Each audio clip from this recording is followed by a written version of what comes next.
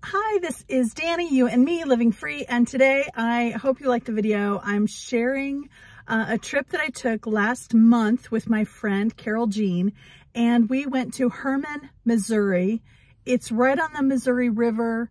It has, it was founded by um, a bunch of uh, German American immigrants that came in I think, well, one of the wineries I know started before the Civil War, so they've been there a long time. There are several wineries in this town. It's right on the Missouri River. It's picturesque. It has good food. It has good bed and breakfasts. Um, just a good time for like a girls trip weekend or something like that if you are anywhere in the area. I had wanted to check out Oktoberfest in Hermann for a long time. It had been on my list and it's only a couple of hours away from where I live and I still had never done it in the 25 years I've been in Kansas City.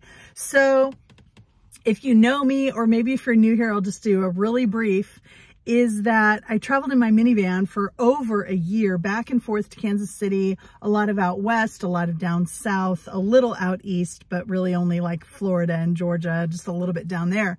But um, I, I did that and now I have a job in Kansas City. So I'm not going to be taking big trips, at least for a little while in the short term here. So I am doing more things close to home. I did the gutted event and now I'm doing Hermann, Missouri that I can't wait to show you. And even though it is kind of gray and most of the trees have, the leaves have fallen off the trees here in Kansas City now, I took this a month ago when it was um, Oktoberfest in Hermann and, um, and I hope you like it. So here it goes.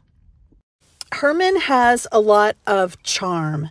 It has those um, old it has kind of a well-preserved historical downtown where they have all the food and all the bars and all the shops and everything. Here's the big bridge that crosses the Missouri River. This is the bed and breakfast that we stayed in called the Helming House. It was kind of expensive, but it was just kind of a treat and I only did it for one night with my friend Carol Jean. Here was our view from the front porch of the Helming or Hemling house and um, and it was delightful. Loved it. Um, highly recommend, but it is spendy, so you can check into that if you are interested. Um, here's the little bar that we ate in for dinner. It was delicious. All the food we had there was delicious. I don't particularly like German foods. Sorry about that, but there were plenty of of other opportunities there as well uh, for us to enjoy. This was a wonderful little coffee shop. I forget the name of it, but um, it was awesome. And I had like this croissant with, oh, with with egg and bacon. Look at it. And this fruit plate, it was fantastic. one of the fun things about, about Hermann is these trolleys and you pay $20. You can be on a trolley all day long and they have these trolleys running that take you that'll take you from your bed and breakfast that'll take you to on the winery tours and so they have several wineries that they take you to and so you just pay your $20 one time. You can tip the drivers a dollar or two each time. They just have the, the trolleys running in between the wineries and everything. So you can stay as long or as little at each spot as you want to. And so you have a whole lot of control and everything. Ours had these great big windows. It was the perfect kind of touristy thing to do. And then there were other tourists along with us, of course, the, the couple celebrating their anniversary or uh, different groups and things like that. So it was just a ton of fun.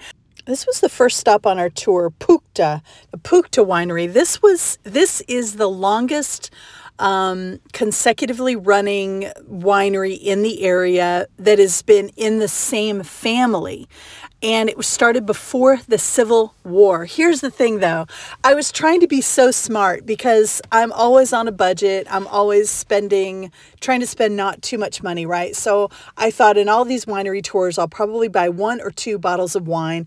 This winery was super small. It was probably the smallest or close to the smallest one that we visited. And it was also first on our list. So I loved the wine, but I did not buy any. And if I had to go back, I would definitely buy all my wine, AKA two bottles, back at this first place. We had a couple of other stops in the middle, and then here was a one of the big wineries that we went to is called Stonehill. This is probably the largest, and I'll show you later pictures from the tour and everything. They had a restaurant, but there was like a two hour wait. So we did not. Oktoberfest is actually uh, the most popular time to go to Hermann, Missouri. As you can imagine, it's a German town and it's Oktoberfest. Uh, makes perfect sense, right? But anyway, this is Stonehill. It's the biggest winery we went to. Big, great big operation. It was fun though because they had the tours.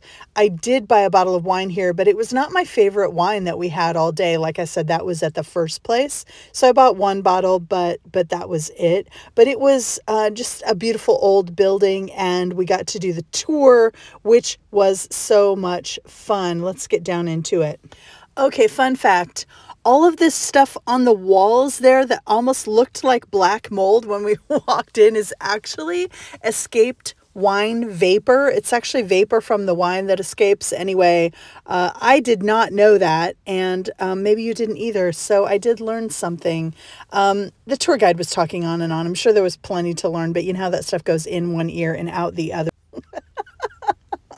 So we get on another trolley ride and uh, here's the next winery. This was the best view. And I get the, the name of this winery at the end. I think it's the Oak something. But here's this great big pavilion. But it was a gorgeous day and the sun was shining, so nobody wanted to sit under here. You can imagine they might have weddings or something out here, receptions, big parties. I'm sure you could rent it out. It'd be fabulous. There's my friend Carol Jean. Hey! And uh, just beautiful landscaping. Great to be there you know, wind blowing, just so picturesque. I know this sounds like a commercial, but anyway, we we did probably four or five uh, wineries. They also have a couple of distilleries on the tour, if that is your thing, which it wasn't really mine, but that's cool. And um, we just did. We had good food. We had good fun.